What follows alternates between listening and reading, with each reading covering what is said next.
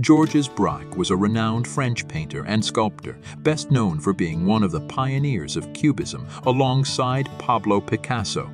He played a crucial role in developing the Cubist movement, which revolutionized the way art depicted space and objects by breaking them down into geometric forms. Braque's collaboration with Picasso during the early 20th century led to the creation of iconic works that challenged traditional artistic perspectives and laid the groundwork for modern abstract art.